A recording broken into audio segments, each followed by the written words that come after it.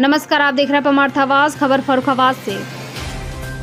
कायमगंज कोतवाली क्षेत्र के अंतर्गत कूंचा बाग छह मोहल्ला स्थित अनुपम कुमार शाह के पुत्र परशुराम शाह ने अपने खेत में नीम के हरे पेड़ को रात के अंधेरे में कटवा दिया। पत्रकार को देखते ही पेड़ काटने वाले वहाँ से मौका पाकर खिसक गए। एक तरफ़ जहाँ सरकार पर्यावरण बचाव का अभियान चला रही, वहीं दूसरी तरफ़ हरे पेड़ धड़ाधड़ काटे जा रहे हैं। वहीं सरकार वन महोत्सव सप्ताह मनाती है। इस समय लोगों को जीवन जीने के लिए ऑक्सीजन की कमी है, जिसे लोग लाखों रुपए खर्च करके ले रहे हैं, जबकि हरे पेड़ काट कर खुद मनुष्य अपने जीवन के साथ खिलवाड़ कर रहा है।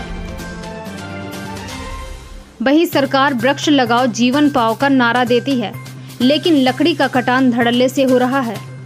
फिर भी प्रशासन मौन है। वन विभाग के अधिकारियों द्वारा कोई भी ठोस कदम नहीं उठाए जा रहे। ठेकेदार लोगों के हौसले बुलंद हैं। देखते हैं प्रशासन क्या कार्रवाई करती है।